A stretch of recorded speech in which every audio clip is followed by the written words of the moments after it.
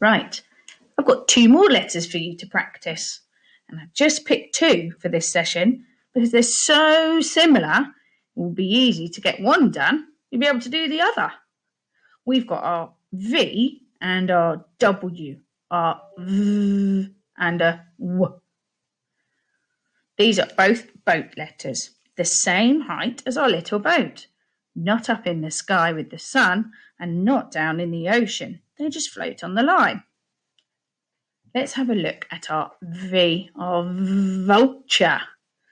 Now he's got his wings stuck up, so I'm going to start at the top, the same height as our boat. I'm going to go down one wing to the line and up the other wing. Oh, Let's try another one.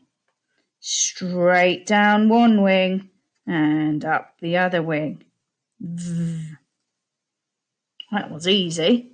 So then we can use that practice to help us with our next letter, W, our W. And we've got our wiggly worm.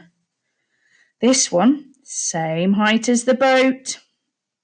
We're going to go down, up, down, up. There's our wiggly worm. Let's try another one.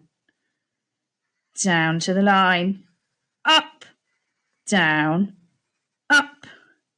Our worm. Can you see how my vultures and my worms are all the same height? Let's give it a practice in our book.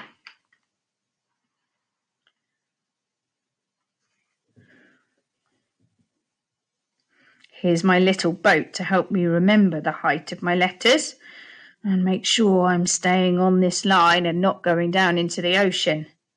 Let's go down that vulture's wing and up the other one. Down one wing, up the other one. And our wiggly worm, down, up, down, up. And one more, down, up, down, up. I took my time to try and get my letters all the same height and make sure they're not dropping under the line. I've done two of each letter just to show you, but you can practice as many as you like until you've mastered it. Give it a go, our V and our W.